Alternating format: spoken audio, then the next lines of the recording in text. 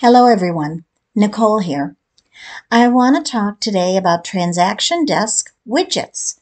So from our MLS dashboard, I'm going to go to Transaction Desk and we're going to let that open. And it opens up to your agent dashboard.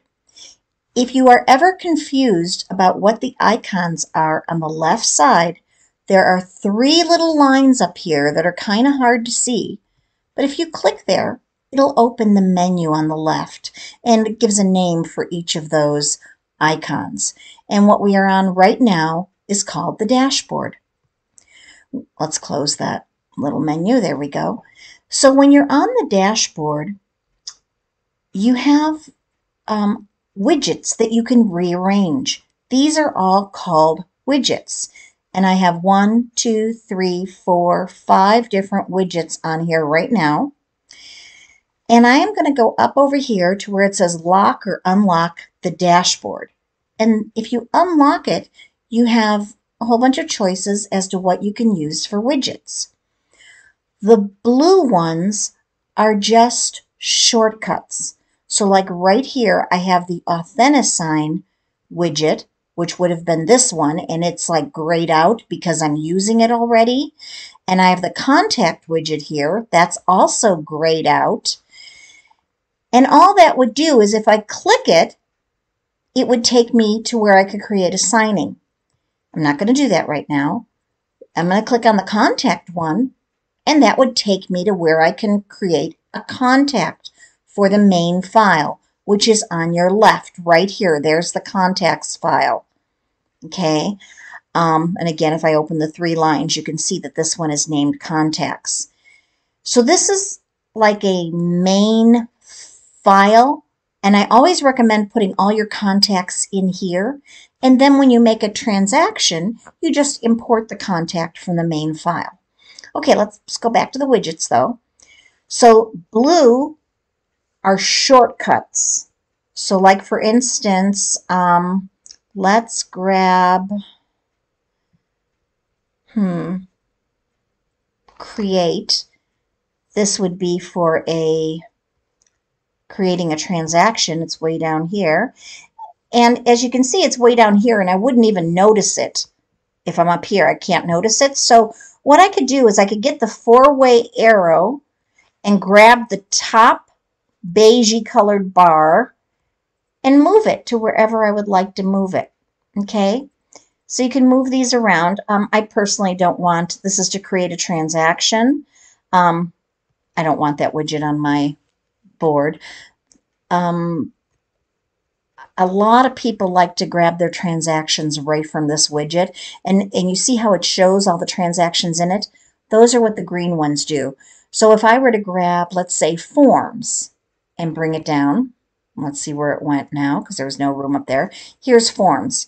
It shows me all of the forms that it honestly looks like I am using in transactions because they all have dates and times. Um, let's see, if I hit go to forms, let's see what it does. Nope, takes me to the residential forms for LVR, so I apologize, I was wrong there. So that would be a, um, a way to access forms without going over to this icon. So let's go back to the dashboard. Um, now, isn't that funny? I didn't save it, but it stayed there. okay, so this is the form widget. I want to go back up and unlock this again up in the upper right corner because I want to show you that I could make this wider, which there's not much point to because there's nothing there to look at, or I could make it longer.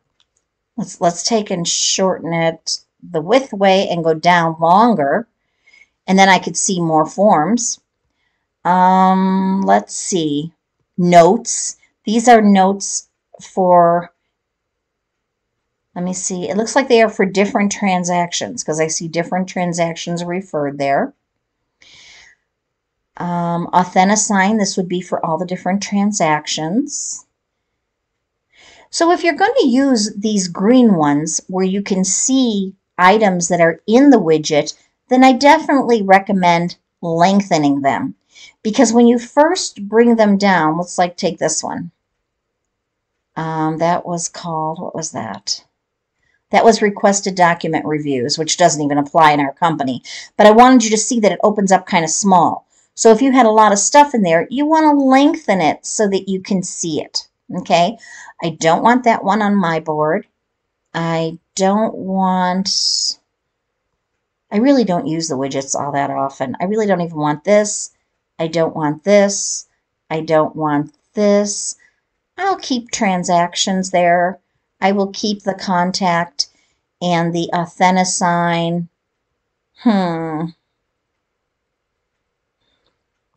I suppose I could even put that one here. Let's see how that looks. And this I would open big if I'm going to use it. Um, and I don't really think there's anything else I want.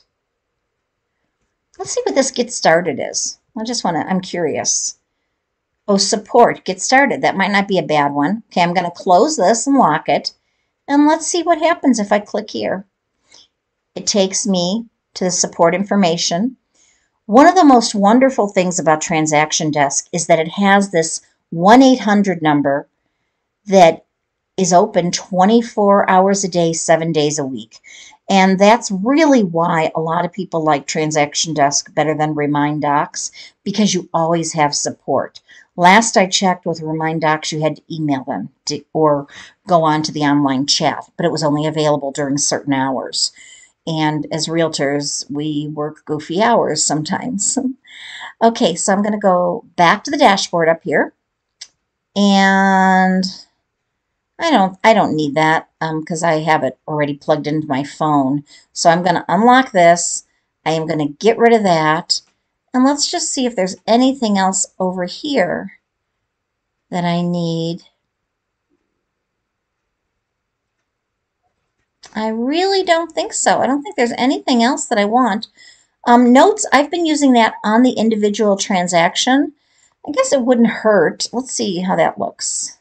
If I lengthen that, yeah, maybe I'll leave that there because it just fills it in nice. It's not that I really use these widgets, but I like my dashboard to be appealing to my eyes. I like um, my computer to make me feel good when I get on it. I know that sounds kind of silly, but if you're on the computer a lot, you want everything to be comfortable for you. I put bookmarks up that I use all the time. Like this is my business, um, my business browser. So I have it set up for work.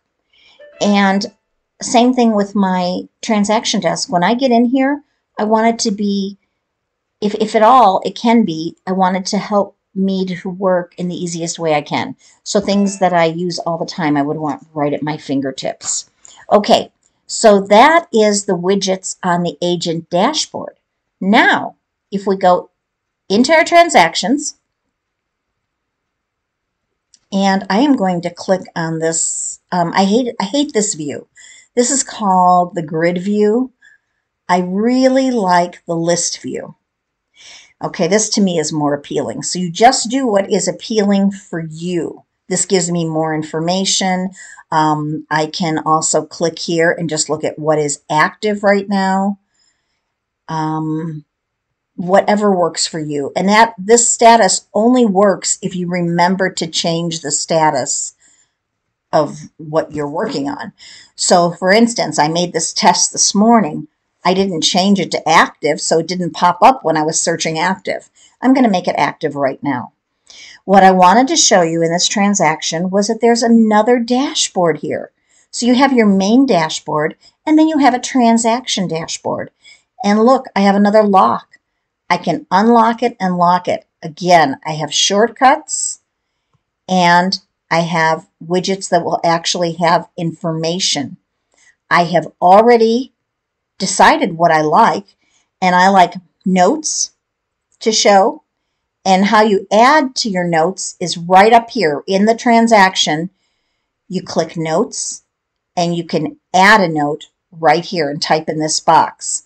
The thing is, whatever you type is there permanently. So be choosy about what you want to put. Um, I would only put like, say, is this a trust? Um, is there some important detail you want to remember? Like maybe I have um, a trust But um, let's see. Husband died recently. Only wife is on the trust. Whatever is important for you to remember, because even though his name might be on the trust, he can't sign for it if he's deceased, okay? I'm going to hit save, and then here's my note. So every time I come to this dashboard, hopefully that is going to remind me of the situation that I'm in here. These important dates, this one, let me see what widget that was. That was, see, here's the notes. I think this one, important dates, is overview. Um, let me take it off so we can tell for sure. There you go, it disappeared. Now let's bring it back. And look, it went to the bottom. So now I've got to go down here, grab it with my four-way arrow, and pull it up so I can see it. Well, I want to, come on. There it is. So to me, these are really beneficial so that they can give me reminders when I go into my transaction. I can see the stuff right here. This other stuff I have on here, but I really don't use them. The documents, the contacts, the forms, or the checklist. I'm going to lock this right now. I like to go to the right side. Everything on the right side keeps me in the transaction. So if I want to see my documents, I go here. If I want to see my signings, I go here. If I want to look at my checklist, I go here. So I really don't use the widgets a lot. I would be happy with just the notes and the important dates on my front page and maybe the contacts. So I think I'm actually going to do that right now. Let me clean this up a little because I find um, less is more. Even on the computer, I don't want to be overwhelmed. I want to use what I'm going to use. And I could probably shorten this contacts a little bit. And maybe there, because on some deals I'm going to have more people. You will find whatever you set up on this transaction will be the same for all of your other transactions. So now, excuse me. Matter of fact, maybe, yeah, I'm going to leave that in the middle. Let's hit lock. And so that's how it'll look when I come to my transaction. And I think that's nice and clean. I like that. I don't need all that extra stuff that I don't use. Okay. now, I could also, um, when I see these important dates, and I have some dates that I haven't filled in, I could go to details right here. It's asking me to save changes. And in that overview widget or detail widget, details are what fills it in. When I go in here and I put all the different dates in, let's pretend like this is going to expire 10 03 20, 2023. And I could have just hit on the date too. I could have clicked a date. Here, let's go to a different date so you can see. There we go. I did 1025, clicked it. So now when I, I, you have to hit the check mark to save it. And when I go back to my dashboard over here on the right, the transaction dashboard, now it should, oops, I think that was the expiration for the listing. Accept date, list date, offer date, accept date. Isn't that funny? That's not on there. Give me a minute. Let me try something else here. Let's lengthen this. Nope, that's all the dates it shows. Interesting. Okay, so let's go back. I want to put a date in there so you can see it pop up. Okay, let's go back again. And I'm going to go to, I could, remember last time I went to details from here? This time I'm going to go up here and go to details. Oh, I take that back. Can't access details from there. Isn't that interesting? But you can access it here. There you go. I got confused.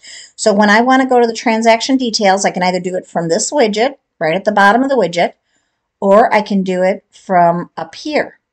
Okay, so let's go there. And now let's go add a date that will show up.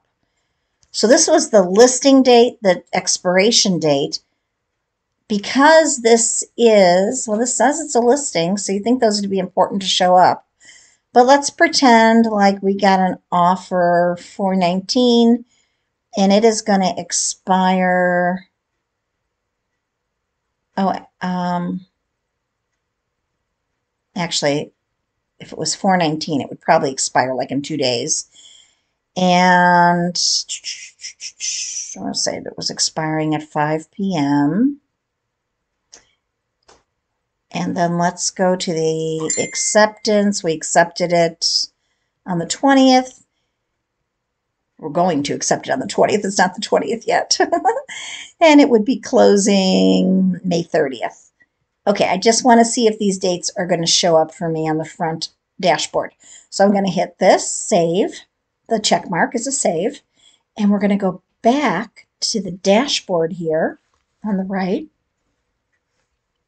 And look at the dates showed up. This is what I wanted you to see. And since I've got these two lengthened a little, I think I'm going to lengthen that first widget. So I have to unlock it to lengthen it. There we go. Let's see if they're all the same length. I like that. Lock again. So I have room if I needed to add more information in my notes. I have room to do that. If I had more contacts, I have room for a couple of more contacts. And I don't know what other details would show up here. Let's see, what else can I fake in here to see if it shows up on the transaction? Let's see. Oh, I want to change the status to active.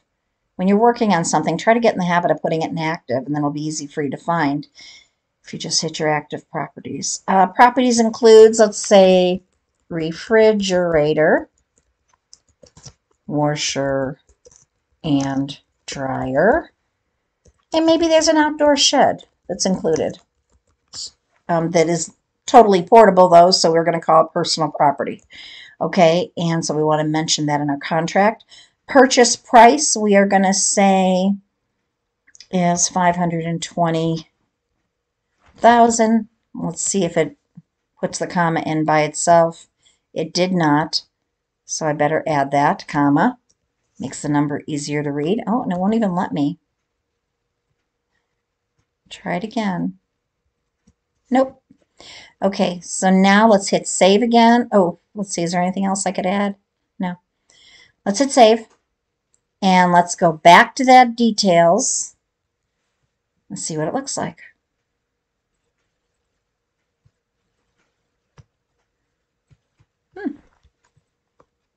Doesn't seem to be responding. Let me try again. Okay, let's hit refresh.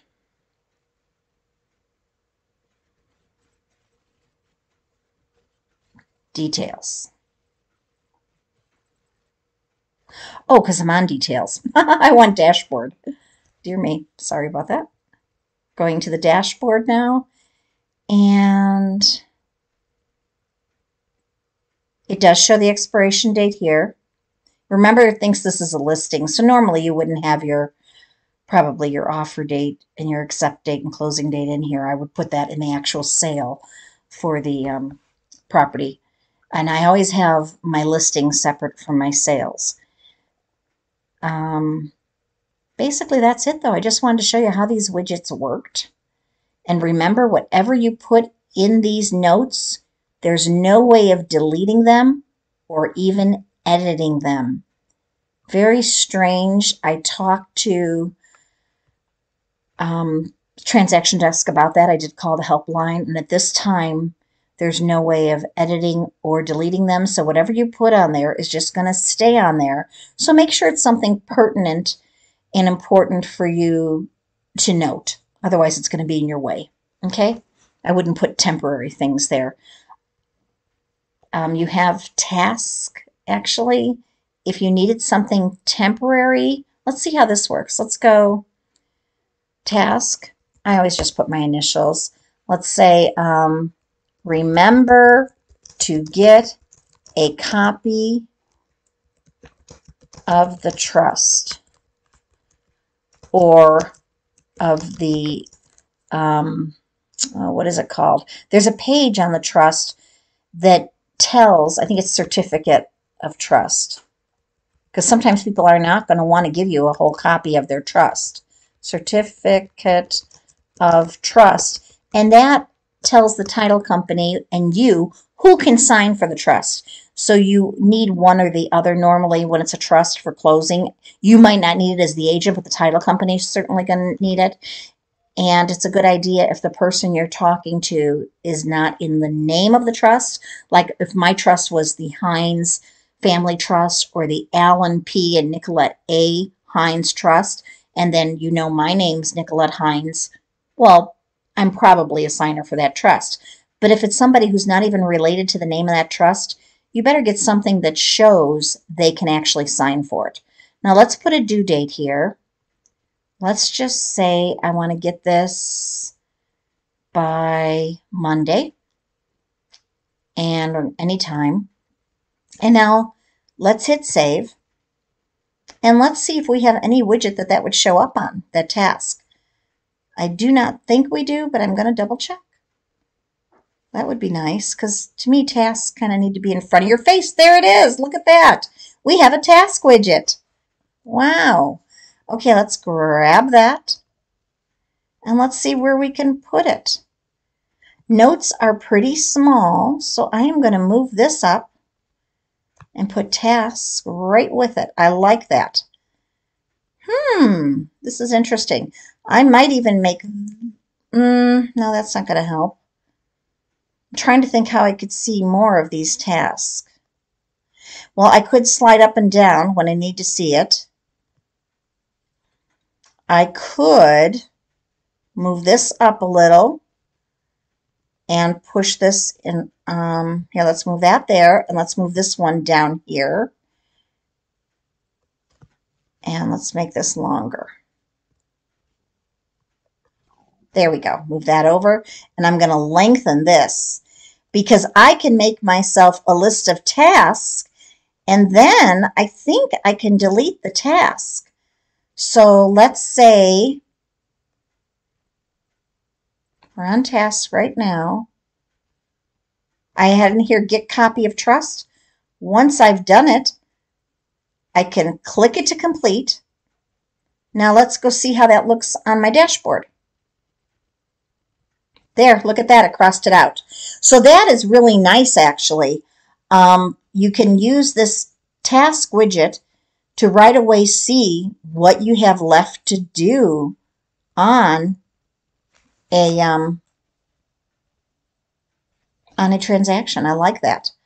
So that might even make me rethink my whole checklist thing.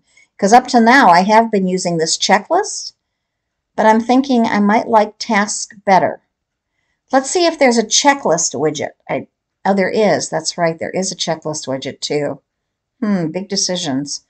Okay, let's go look at checklists. I think it's this. Let's double check it. And again, I'm getting too many. Now, those both say task. Don't understand that because this one is task. Here, let's pull this so we can read it. Task I'm using, because remember when you take it down from this widget bar, it turns gray. So that I'm using that here. But look over here, it says completed. Hmm. So I guess that would just show completed tasks. I don't have, oh, here's the checklist. That's what I was looking for. Let's see what that looks like. That shows everything on that checklist. Okay, I'm going to remove this again because I don't want, I just want to be able to see everything I need right here. Otherwise, I can always click on this side. So I'm really not sure, guys, what I like better, whether I like the checklist or whether I like task. Really hard decision. Properties, edit, delete. Hmm.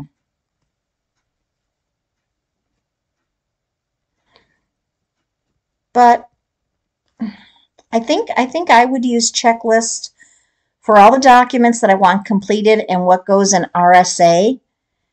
And then I could use tasks for maybe other things that I need to do during the as the transaction's going along, like getting the repair request um, filled out, um, setting up the inspection in the first place. Maybe there I would want to write some tasks to myself. But I think I actually use my calendar for that, and it's probably easier to open up my calendar every day on my um, my Gmail calendar, my Google calendar, than it is for me to go into Transaction Desk every day and check. But there are tools here you can use You just have to decide what works best for you. And basically, today I was trying to show you that on the main dashboard, when you first sign into Transaction Desk, you have these widgets. And then when you actually go into a transaction, you have another set of widgets. So customize them to see what works best for you and enjoy yourself on the computer. when you make things work for you, you're going to find the time there is much more enjoyable and it won't be such a chore to get on there and work on your transaction. Okay, have a wonderful day. Take care. Bye bye.